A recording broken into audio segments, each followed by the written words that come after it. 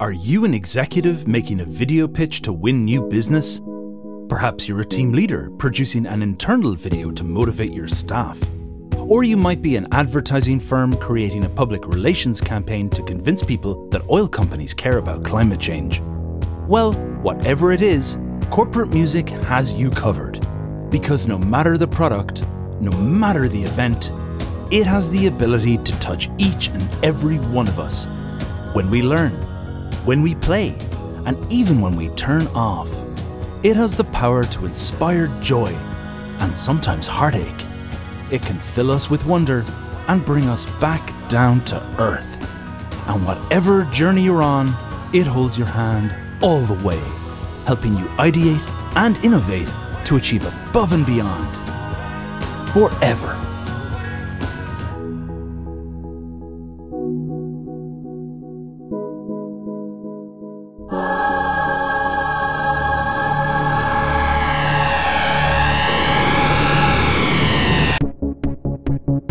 Okay, I'm sorry for doing that. Sorry. Let's just take a moment. Let's breathe.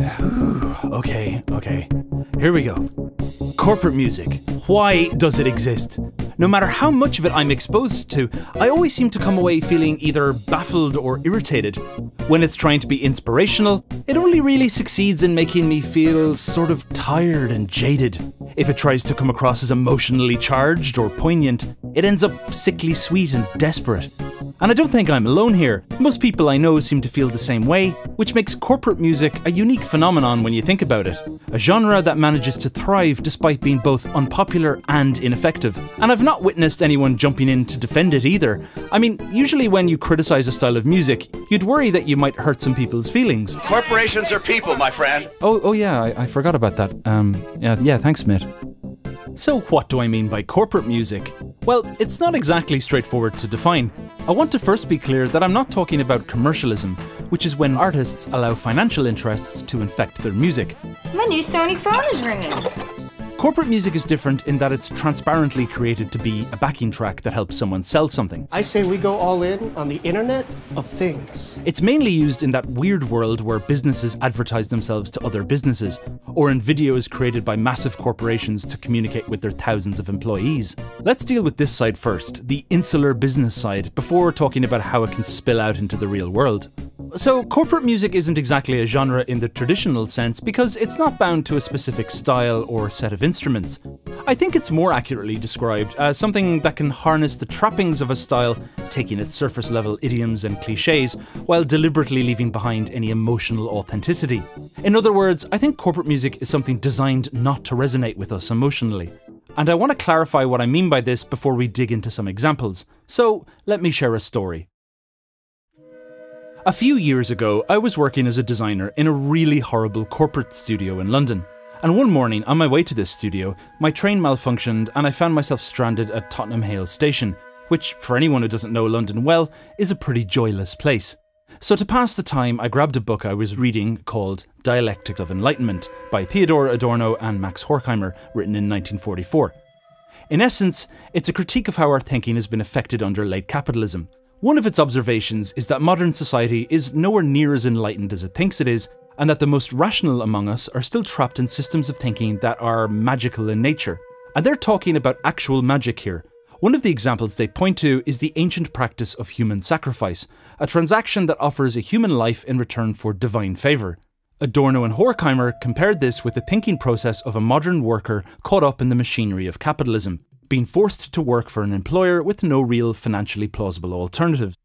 They felt that, along with this physical obligation to be at work, workers were also forced to actively practice what they called the introversion of sacrifice. And so, hold on, let me read that again. The introversion of sacrifice? What? What on earth could that mean? Well, I didn't know. I just stood there, stranded in Tottenham Hale Station, trying to comprehend what this could mean in concrete terms. Did they mean that we simply sacrifice our time in return for money? That felt a little obvious, and I felt I was missing the point. So after about 20 minutes, I put the book away and just stared out into space at all the tired and irritated looking people around me, and the generally ugly atmosphere with all its electric wiring and massive billboards. My overwhelming feeling at that moment was, oh man, I really wish I could just exit this dump and go home. And then I looked up at the billboards and focused on one that was advertising a fashion line promising to help you look snappy at the office. And it was at this moment that I started to think of the ways that I was trapped. Not just in location, but also in spirit. Like, why would I want to look snappy in the office? And then I began to slowly empathise with this idea of the introversion of sacrifice. It's not just that I have to be where I don't want to be, it's that I have to act in a way where my personality is locked in a little cupboard and replaced with the personality of the company, with its dull, quasi friendly, airplane food communication style. A little piece of my spirit in return for the means to go on existing. And when I thought about it like that, it did seem like quite a significant sacrifice. With all our amazing technology, even those among us who are privileged enough to work in well paid jobs still feel dehumanized and machine like. And it's in this spirit I want to return to corporate music, which I think of as the audio equivalent of the workspace hive mind. And it also seems to be bound by similar rules. It can't be too artistic or experimental, and it needs to keep things nice and sensible. In fact, if it was legitimately genuine or heartfelt, it would kind of be embarrassing to listen to in the company of your colleagues, because authentic, heartfelt expression doesn't sit well in an environment where emotional displays are frowned upon. So instead, internal workplace music tends to be an empty husk, only dealing with the most conventional and surface level cliches while actively avoiding edginess or unpredictability. It resembles the environment it was created in. For example, let's take the music I wrote for the introduction to this video, which I based on something I'm sure you've all been subjected to a thousand times the inspirational video. Let's begin with the harmony, where I've used one of the most unoriginal progressions in existence. This is your absolute go to if you want to sound deep, in the shallowest possible way. And pay attention to the fact that this progression never changes once. This is the essential rule when writing corporate music avoid development at all costs. Now, since our harmony is standing still, we need to give the illusion of development by using another classic trick, which is adding a new instrument every two bars. First, you hear a bass drum, then the bass, then a repetitive melody which never threatens to destabilize the key.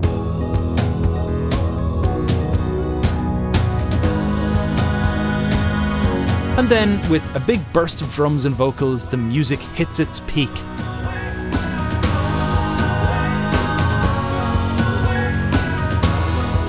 And because I wanted it to sound extra inspirational, I threw in some meaningless vocal ticks too, to make it sound sort of spiritual or something. The vocal tick I decided on was the phrase Boba Hui.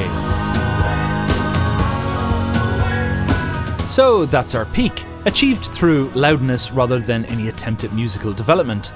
Nothing happened. No story was told. Humpty Dumpty sat on the wall. Humpty Dumpty sat on the wall. He's just gonna sit on the wall He's still there, still there. This is the continuing story of how Humpty sat on the wall. He's sitting on the wall. Humpty Dumpty sat on the wall. I go to bed, he's on the wall. The next day I have my breakfast and I look up and he's still there on the wall. He's still there. He's still there, still, still watching. Hey, Tantacrul, enjoy your day at the office. Okay, uh, thanks, Humpty. Um, see you later. You will see me later. I bet you'll never guess what I'll be doing. Um, are, are you going to be sitting on that wall? The next type of corporate music I want to talk about is in such high demand it has to be produced in industrial quantities. I call it nothing music.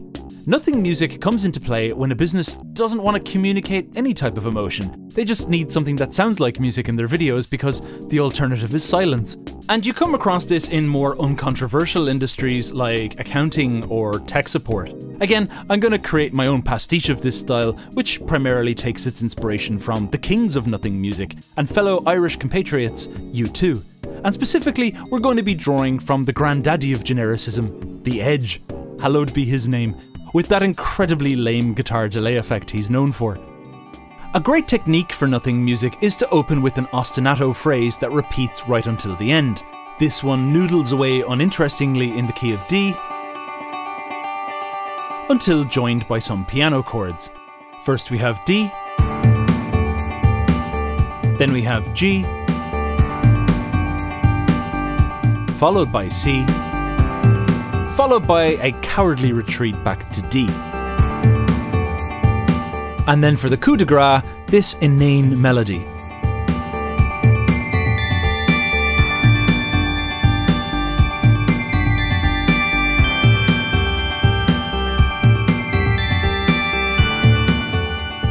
And with that, we've achieved near complete harmonic inertia. This exact process can be followed to write nothing music in no time. And to recap, let's look at a different example I put together in about 20 minutes. First, you have the ostinato.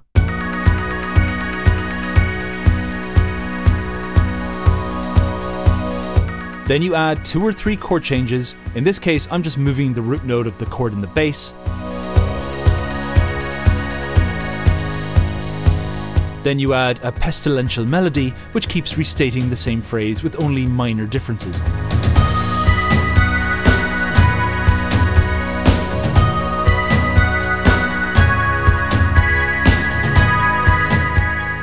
There we go. Vintage nothing music.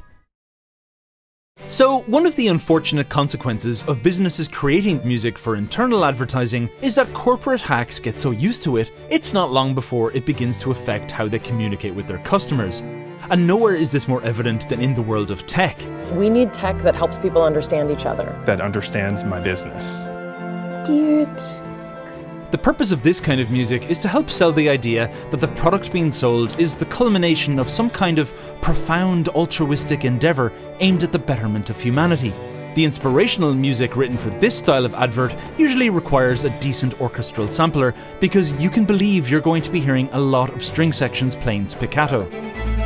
Then you begin to build the collaboration that will help you go on that voyage. And when they're not going the we're making the world a better place route, then they instead go for the isn't life just awesome route. This is possibly the most irritating of all, and you can expect to hear one of two different sounds. The first is whistling. Hey, have you got a really trivial inconvenience? Well, here at We've designed a ludicrously expensive gadget to help, until it breaks or we design something even more expensive. Let's make the world a brighter place by wasting our disposable income. Aside from that, the most common and egregious isn't life just awesome instrument of them all is the ukulele.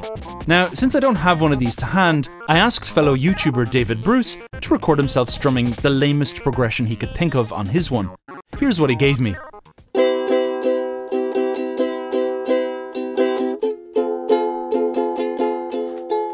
Perfect. And from that, we get this. Life is just so great, it's so good. Uh, things are amazing, and we can all get together and we can all be together and, and be one. And yeah, we can all do lots of stuff. Uh, the great, um, we love everyone. Life, life is great. Uh, love, love life, life, uh, being together, and uh, the end. buy my stuff, please. Now, although most inspirational ads try to be vague about the social good their product will bring about, usually sticking to phrases like me, you, everywhere, inspire, yada yada, others go a bit further by pretending to support an actual cause, like Audi, whose advert seen here pretends to care about equal pay for women. Do I tell her that her grandpa's worth more than her grandma? This advert landed them in hot water after it was pointed out that their entire executive team were men. Oh dear. And after taking a deeper look, I discovered that it was created by a company called uh, Cause Marketing. Th- that there are companies you can hire to help you pretend you care about causes? How can these people survive without punching themselves in the face? So, to finish up, let's look at the most outrageously cynical marketing campaigns of all those by oil companies pretending to care about the environment. An issue this sensitive requires some big guns. For this, you'll need monorhythmic piano chords. Every year, the destruction of the Amazon rainforest intensifies. This makes us sad. Here at Shell, we are sad. And that's what corporate music is pretending. Pretending to be something a human would write in order to communicate an actual emotion. Pretending to be anything other than a creative stillbirth, the product of a thousand unimaginative decisions. And no matter how hard it tries, it just can't help but reflect the banality and inauthenticity of the corporation that commissioned it. And that, I suppose, is the one emotional insight it's capable of providing.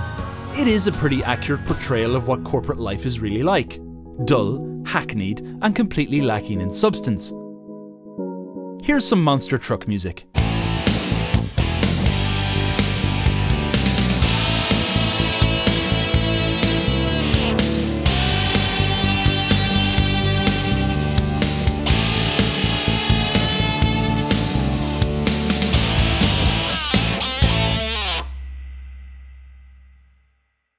If you like my diatribe, subscribe.